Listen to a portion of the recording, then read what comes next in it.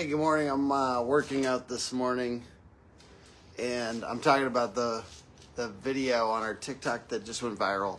Um, and hey, I know it's not that crazy huge for a niche business to go viral and something outside of the niche, but I want to give you step by step of how this happened, and we're gonna lift weights if that's cool. I'm double dutying just for my morning because I've got like 15 minutes here.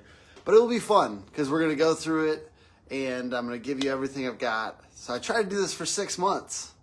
I was trying to go viral for six months. So um, I remember saying this about six months ago. I was like, I want to go viral. And I was like, how much effort do you think it's going to take? Is there a good reason for me to do this? Do this? Everyone was asking me like, why? Why do you want to do this? Because you have a niche, which is our niche is roofers and you don't need to do this. This doesn't make a ton of sense for you. I was like, yeah, but I'm learning the algorithms, and as a marketer, I want to know, I want to know stuff. That same day, the, we have a new videographer on our team, and he did a very niche meme on our roofer memes account on Instagram, and that got shared by like 20 people in roofing and I told them that's bigger. That's probably really bigger for our business than this thing going to now it's gone to like 4.5 million views on Instagram and TikTok. Um, but I'm going to give you these principles. But first, our first set. Let's do it. All right. I actually don't know how much weight this is.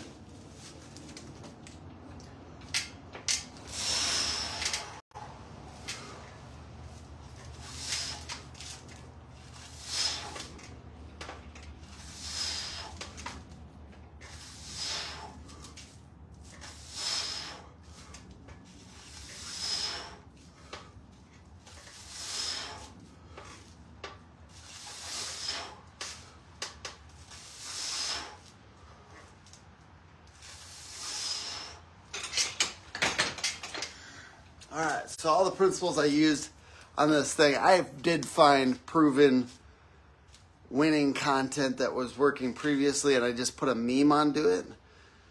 So I, so in my case, I use proven winning content. This is like old um, that somebody had put up, um, and then I slap something on top of it. So that's principle. One. So I found winning content. The second one is I piss people off. and this is something I always see with viral memes uh, or viral stuff is a lot of the comments are negative and I'm I basically over the last couple months have been trying to be okay with that because if you I heard somebody say it recently if you're okay the the more visibility you'll get is if you are okay with cringe. And I'm not gonna lie, my meme was a little cringe. I was actually making fun of Gen Z and millennials, and I am a millennial. And I knew people were gonna hate it. And I posted it anyways. Not because I was being mean or anything like that, because it felt true to me, and because I didn't care. I didn't care that much if I did get if if people felt like it was cringe or the I just didn't care. And I'll be real, when you're getting when there's millions and millions and millions of views and there is people mad, you just don't care as much. It doesn't hurt your feelings as much because it was, it was millions of views. So I ended up being weirdly okay with it. Normally I would, like if there was 500 views and there's a bunch of people mad at me in the comments, I would be annoyed. But because it was so big, it just didn't matter to me. And then, so I, uh, roofer TikTok, Austin Bloomquist, shout out to Austin. He's been giving me tips and stuff like that. He's awesome. Check him out, roofer TikTok. He suggested a few things. So I kept on kind of doubling down and I'm to, I'm to keep on doing it today because it's still kind of going. I replied to all the videos or all the big comments, the ones that got the most likes and stuff like that. I replied to them with a video. So it does mess up your feet a little bit. It doesn't look that cool, but I have like 20 or 30 videos where I'm just replying to the top comments. And then as well, I went live when it was kind of going nuts. So going live, replying to comments, and then even the ones where I didn't, um, the ones where I didn't reply with the video, I asked a question in response because what I'm trying to do is get everybody still talking. So even if they're a little mad at me, and I, that's that's one of the main principles here is they were mad, and that's why this thing went crazy. But I was asking an additional question. The point is, is when people are sitting down there following threads, the video is still playing up top. So that's part of the reason that it went so nuts. Um, we're gonna do another set here. and and I, I'm sorry, I was just saying at the beginning, I'm doing double duty with this and um, but I've got some more advanced tips here in a second that I think were, were sweet. All right, let's do this. You think we got 10 here?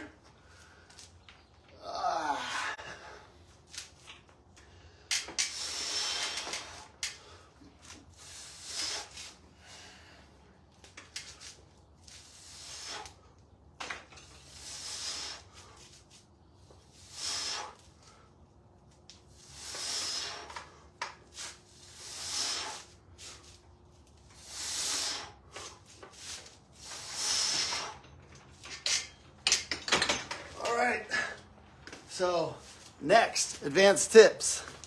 Um, I was trying to get the sound trending on this meme.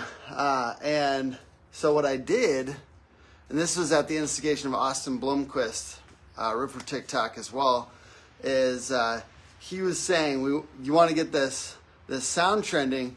So, what I did is I started sending it to people. First, I. Um, I posted on a different account with, hey, use this sound, it's trending. And then I started post I, I started sending it to TikTok coaches. Because kind of what I'm thinking is those are the ones I always do. I don't know if you guys get these in your TikTok feed, but they do like use this sound, it's trending. So I was trying to get more of them to use it. So I sent it to like 15, 20 TikTok coaches. Right now it's at like 320 uses. The audio, um, Carnival Cruises um, commented. I don't know what else is gonna happen. It might be at the end of it. It's like at 4.5 million. Roofer, uh, sorry, Timishness on TikTok, and then Roofer memes on Instagram. Go check it out.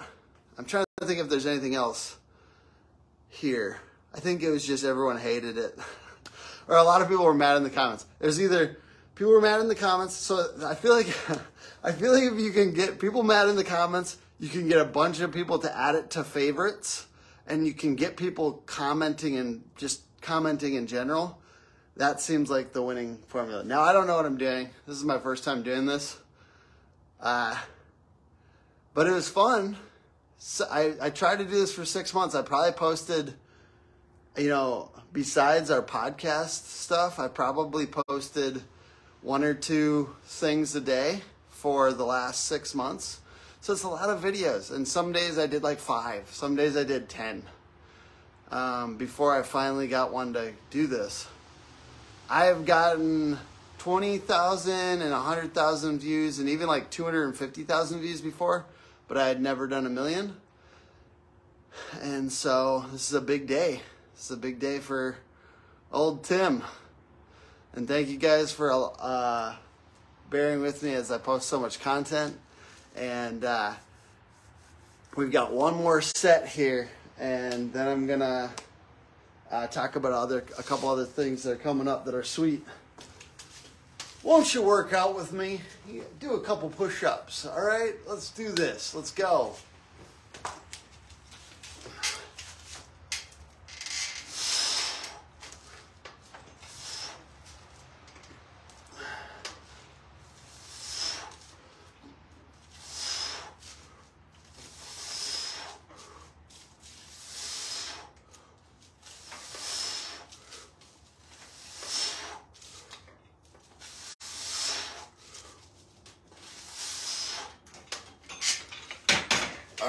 Couple things. Today, um, Dmitry's in our office. Dmitry Lipinskiy of Roofing Insights. he is doing a series called Marketing Fitness, and that will be, you know, it's a thing that he does. So go follow Dmitry and see that if you guys want to check out what we do for our marketing. And I think we'll share as much secret sauce as we possibly can there.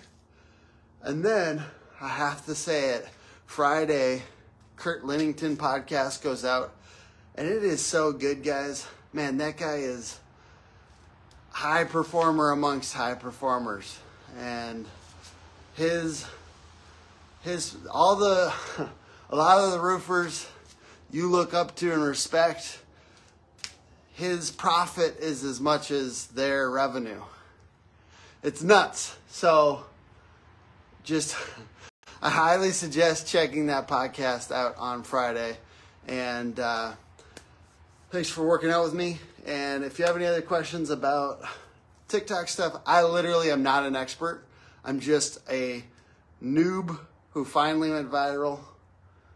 And I'm super excited about it. And I'm trying to share what I learned along the way because it's fun. All right, y'all. Peace.